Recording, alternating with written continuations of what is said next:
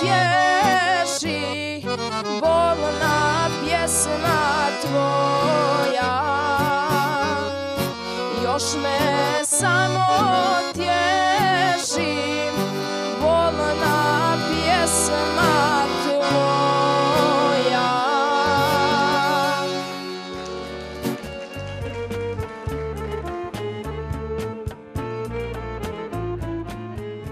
Nastup ovog kandidata će komentarisati gospodin Damir Galijašević. Izvolite.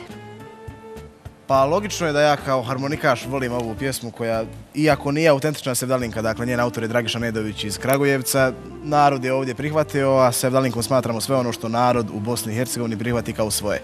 Ono što mi se posebno svidjelo u interpretaciji ovog kandidata je to što je otpjevao e, strofu, ovu predzadnju strofu koju je malo prije pjevao, koja je apsolutno ispravna, a koju malo ko pjeva. U- uglavnom će to utjecati na moju izuzetno pozitivnu ocjenu. Bravo, bravo.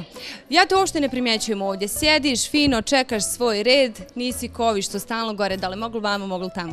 Jesi li zadovoljan? Pa jesam. Kako je bilo? Dobro, nije bilo tremi. Super. Odlično, da vidimo osmijeh onda. Tako, hvala ti puno. E, Zmajić je odlučio da mi pjeva. Uke. Glasnije, glasnije. Punim čujić benem rečiće uke. Bravo. Nabaci. Bravo, majstore, hvala ti.